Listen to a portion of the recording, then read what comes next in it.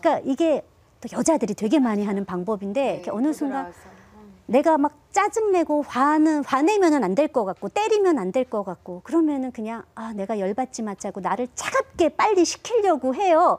그러면 어떻게 보이냐면 굉장히 쌀쌀맞게 보일 수 있어요. 이렇게 약간 그냥 어 그래라고 어느 순간 이렇게 싹 떨어져 나가요. 이게 때로 효과도 좋은데요. 예주 같은 경우에는 이 아이가 어떤 버림에 대한 상처가 있어서 약간 엄마가 아, 너 아, 힘들어. 너 자꾸 이러면은 아, 엄마 아, 잠깐 바람 쐬다 올 거야. 나갈 거야. 이런 얘기를 하게 되면 아이가 그 부분이 그래. 찡하게 되면서 그래. 미친 듯이 엄마한테 달려들게 되는 그러니까. 이런 악순환이 좀 일어날 수 있다라는 거죠. 어떤 아이 같은 경우에 가령 뭐 ADHD 선천적으로 무지하게 산만한 애들은 꽉 잡는 것도 필요한데요. 네. 불안이 심한 아이들.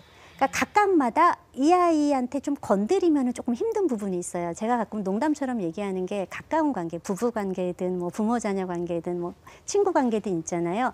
내가 안 살 거 아니면 두 번 다시 볼 거 아니면 정말 건드려서는 안 될 거는 건드리지 말자. 가령 실업자인 남편에게 어이, 돈도 못 벌었다 주고 이런 말하면 끝장나는 거예요. 그래서 정말 우리가 관계를 계속 이어가려면은 상대 아킬레스건은 보호를 해줘야 되는데 지금 예주 같은 거는 뭐냐?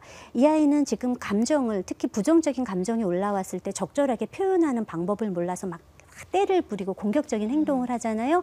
그럼 부모님이 싹 멀어진단 말이에요. 근데 그게 이 아이의 아킬레스 건이에요. 버림받는 거. 아까 그래서 나가는 건 잘못했네. 예. 아, 해주셔야. 될 게 뭐냐면은 그거예요. 어린 아이들, 특히 세 돌 미만의 아이들의 자존감은 뭐냐면 내가 때를 써도 엄마는 으이그 그러면서도 내 옆에 있어주는 맞아요. 거예요. 그거. 자,